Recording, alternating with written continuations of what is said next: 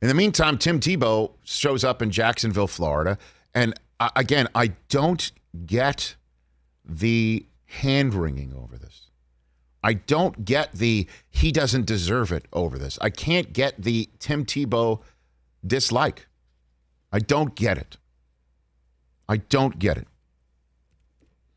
Because when it all comes down to it, he is only getting a shot in Jacksonville that would have gone to an unnamed individual whose career nobody pays attention to or knows about or is, if you will, rooting for outside of that person's immediate family because he's trying to make the Jacksonville Jaguars tight end room.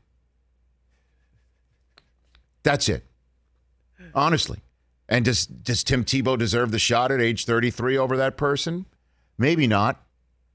Maybe not. Does that person have a relationship that goes back to Urban Meyer's Florida days that wound up with this kid being one of the best college players of his day? Of course not. That's why the guy's getting a shot. Is that kid from Jacksonville, from the Duval County area? Maybe. Is he as popular as Tim Tebow? No. No, no, no. And then the whole concept of what happens with Tim Tebow. The latest example of anything can happen with Tim. Could make the team, he could not make the team. And Urban Meyer will be able to point out to his entire locker room that might be thinking he's getting a special shot. Well, when it all came out in the end, he wasn't the best 53. The best 53 are in this room. Let's go to work. Let's go to Houston and try and beat Jeff Driskel or Davis Mills or Tyrod Taylor. It won't be Deshaun Watson. Certainly not week one. And further proof of that is my colleague from the NFL Media Group, Ian Rapoport. Did you see what he reported this morning, Chris Brockman? On his salary situation? Yeah, one year, Yeah, I saw that. $920,000. That is the veteran's minimum. That is the minimum. None of it's guaranteed. I mean, it's just they're taking a flyer on this thing. And this thing is a 33 year old who can maybe still play, who definitely represents the Urban Meyer culture, whatever that may be, that he wishes to instill in the locker room. Also, to maybe say to everyone in the locker room, the relationships that we're starting right now are for life. That's his, he's the embodiment of that. Hey guys, what you and I are doing right now, what I decided to do right here by coming out of retirement and giving myself a shot at the NFL.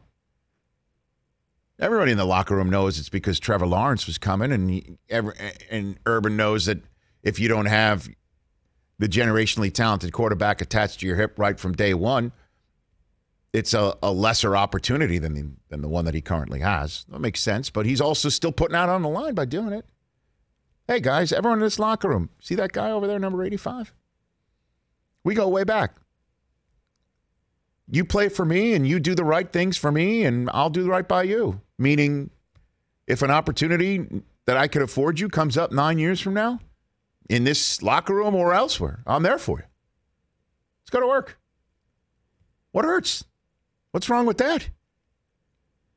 And then the most laughable aspect of this that you heard about when Tim Tebow initially was on the radar screen is like, yeah, I don't know if the rest of the locker room will be on board with that. Tough. And guess what? The whole laughable part about it too is I don't know if the um, management. Do you think management really is involved in that? Adam Schefter tweeting out about an hour ago the top five, not one, not two, not three, it's like the heat. not four, the top five selling items on NFLshop.com right now are Tim Tebow related gear. Hey now.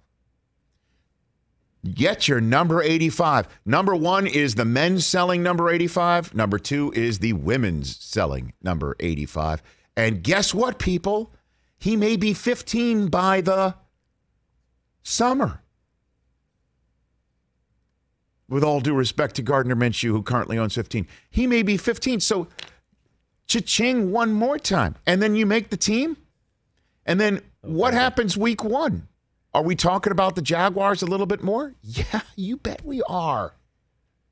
Relevance is just as important in this world if you're sitting in the owner's box watching your brains get beaten in on the field, with the exception of a couple of Tom Coughlin years 2.0. Come on. It's a no brainer. World keeps spinning. Still keeps spinning. Cage Brockman wasn't sleeping last night. He was not. Doesn't matter if Tim Tebow was going to be on the tight end roster or not. That was going to happen. Yep. I I honestly don't get it, and I can't wait to see it.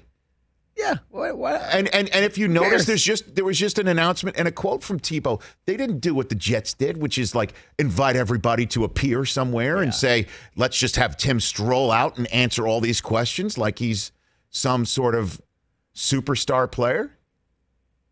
Urban, I think, is showing you he's just gonna he's gonna do what he wants to do. It's his opportunity. It's his uh, operation, and he's gonna take the air out of whatever store he wants to take the air out of.